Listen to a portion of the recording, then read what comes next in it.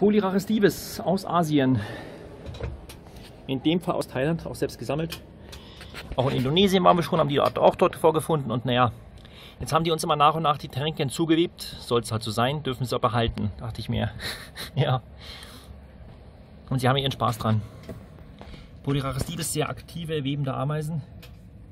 Wie man hier sieht, alles zugewebt. Äh, super. Ja, kann man jetzt nichts machen.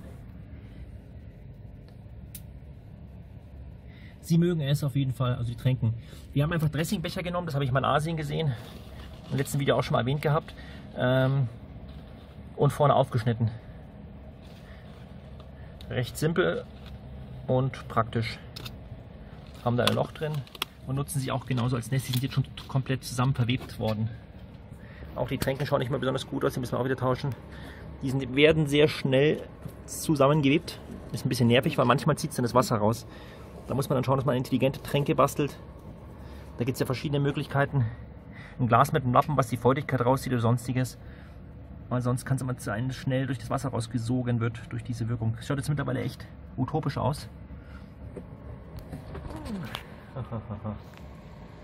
Der Kolonie geht es ganz gut soweit. Polyraris Diebes lieben Sonne, also da kannst du mal ruhig reinknallen in der Sonne. Die lieben Hitze. Wenn sie immer Wasser haben, ist es kein Problem bei denen.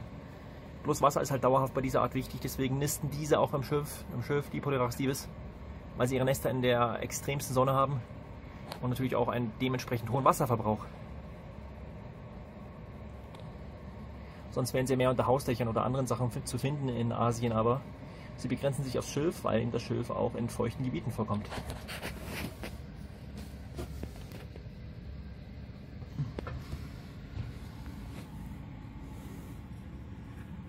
Polyraches Diebe sind mittelmäßige Jäger. Also mittelmäßig bis eher weniger. Aber mal so, zumindest.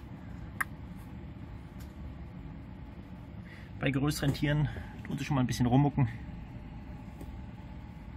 Aber es ist einfach schön, mal eine Pflanze einweben zu lassen. Das schaut schön aus. Da könnte man richtig schöne Landschaften gestalten damit. Also richtig urige Landschaften, die richtig zugewebt sind mit Pflanzen vor allem, mit kleineren Pflanzen, die ein bisschen buschiger sind. Kann ich nur empfehlen. Da kann man sich wunderschön ein Terrarium einrichten.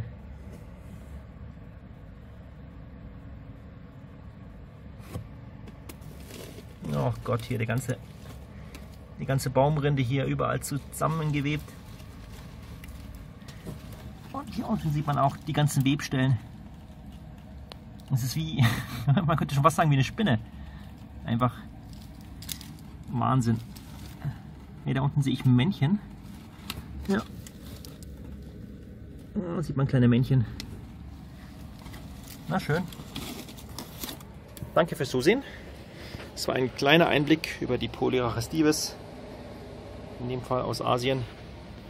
Nicht aus China, ganz wichtig. Polyraches aus China, merkt euch, haben immer eine Diapause. Ich habe schon wirklich so viele auch von Händler bezogen und deswegen sammle ich die meistens jetzt selbst. Weil es einfach sinnig ist, wenn die dann irgendwo aus äh, Thailand, Indonesien oder sonstigen Ländern stammen. Sind auch nicht einfach zu finden, aber haben einfach dort keine Diapause, sind ein bisschen kleiner. Die ähm, chinesischen Polyraches Dibis noch ganz kurz dazu sind einfach ein Stück weitaus größer, ein kleines. Wobei man die gut füttert, die nächsten Generationen werden auch von denen größer, die Arbeiter. Die passen sich gut an. Aber ansonsten haben die chinesischen von den Lieferanten eine ziemlich extreme Diapause drin. Davon ist abzuraten. Gut, danke fürs Zusehen. Macht's gut. Ciao.